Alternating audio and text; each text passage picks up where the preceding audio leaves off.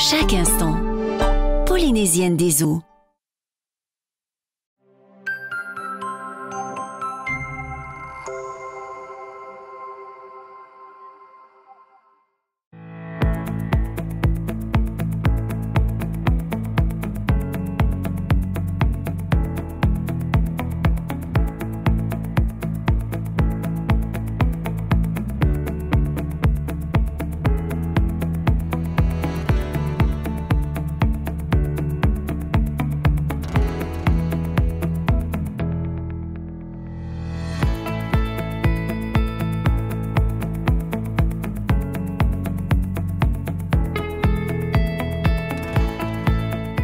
Alors euh, le rôle de chercheur de fuite, c'est d'abord suivre l'évolution du rendement sur nos exploitations, ensuite déterminer les zones prioritaires et définir les actions menées. On fait aussi de la détection de fuites et le suivi jusqu'à réparation. On aide aussi les équipes d'intervention pour détecter les fuites lorsque les interventions sont compliquées.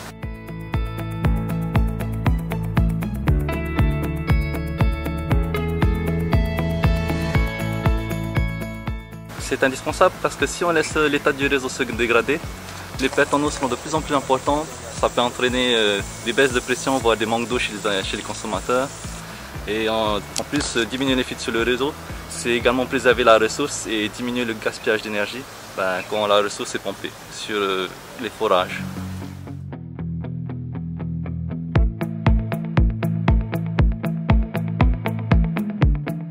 Moi, il faudrait avoir déjà une bonne capacité de raisonnement et de l'adaptabilité. Alors mon rôle c'est de participer au bien-être de la population et euh, de préserver la ressource en eau.